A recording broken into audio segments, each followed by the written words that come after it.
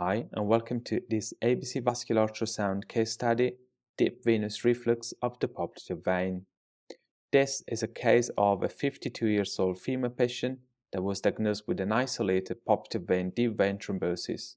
The six months ultrasound demonstrated patency and incompetency of the popliteal vein. Using B-mode image, we can demonstrate that the vein is compressible the lumen of the popliteal vein is echo-free. There are no scarring thrombus, and we can see the popliteal artery underneath the popliteal vein. By applying color Doppler flow, we can confirm the patency of the vein, and by applying dynamic maneuver such as distal cuff compression, we can provoke the venous flow, and once we release the cuff, we can see evidence of reflux, which appear as red considering the current color scale settings.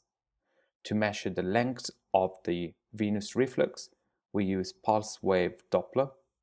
First of all, we obtain a basic information of the venous flow, which appears phasic.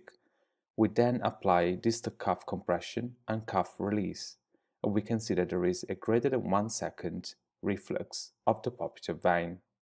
In conclusion, the popliteal vein, it is patent with no residual thrombosis and it is incompetent with deep venous reflux greater than 1 second. Thanks for watching ABC Vascular Ultrasound.